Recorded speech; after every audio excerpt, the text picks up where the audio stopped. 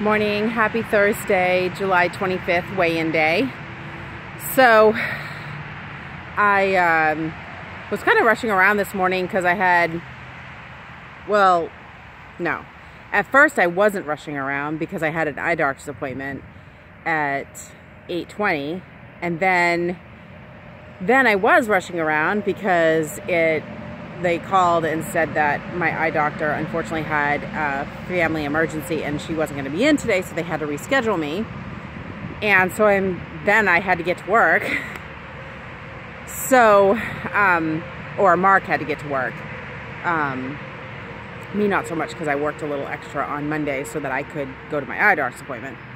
So, um, I'm taking a little walk around um, Home Depot once or twice. I'm in the back here is some shade again, so I think I'm just going to walk back and forth here a little bit, and then I'm going to go in and go to work. Um, so, all that said, because uh, I forgot to upload my video. I had it all saved and all ready to go, and then I forgot to upload it. So, that's why you're seeing yesterday's vlog right before I upload this one, just so you know. I'm not going to upload this until I get out of work, but I'm going to upload my yesterday's uh, what I ate in a day video before I upload my weigh-in video. So that's why they're both um, Thursday evening. So I have a bug flying around my head. That's gross. Um, weigh-in day. I I felt really good the last couple days.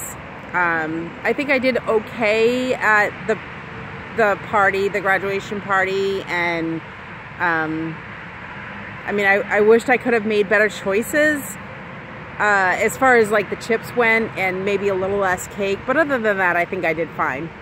And um, Friday I had gone over, but I still had allowance points left, so that covered that. And then I don't remember Sunday, but Monday, Tuesday, Wednesday, I did really good. So, um, I was hoping for a good weigh-in today because I felt like I had done okay. It was good. I got on the scales this morning and I weighed in at 185.2. So that was a 1.8 loss. So that's awesome. Now I need to keep this momentum going so that I can get under that 185 and just keep going because I got to the one, I think it was like 185.4 and then I went up. So I need to um, keep this momentum going. I feel good. I feel like um, I'm on track and in focus.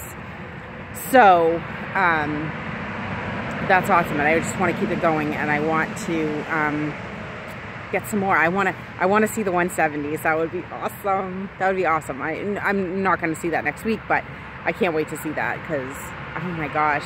It's like everybody that's, or a lot of people that are in my life right now, like, I was when the last time I was 170 was just the last time I was 175 was just before the twins were born.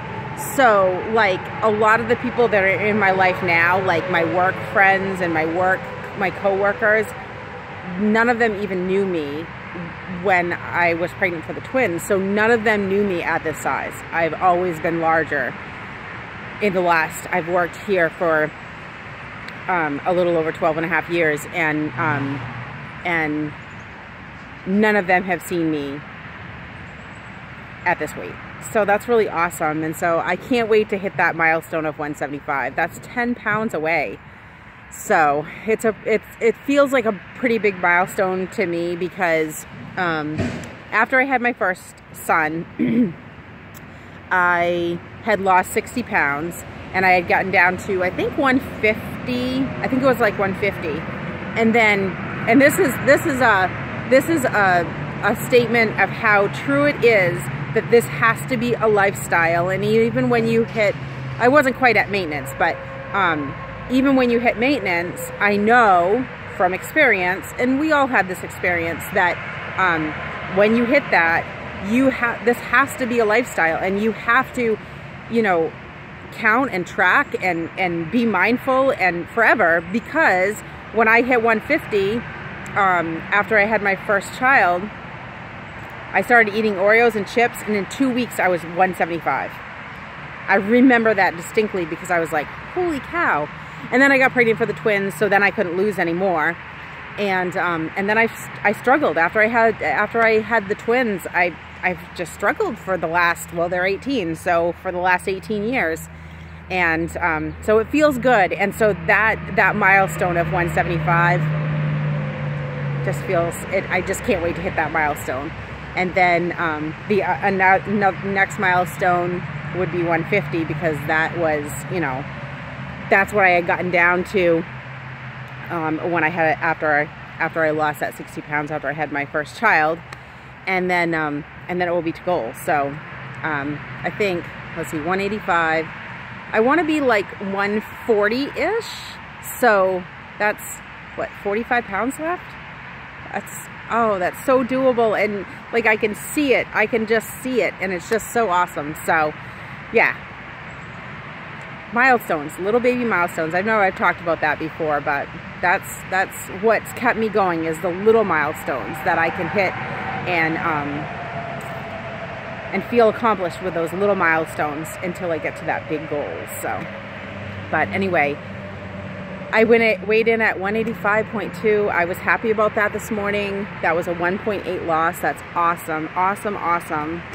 And you know, after that 1.4 gain last week, that was a little bit more than I had gained. So that's that's great. I'm so so thankful for that.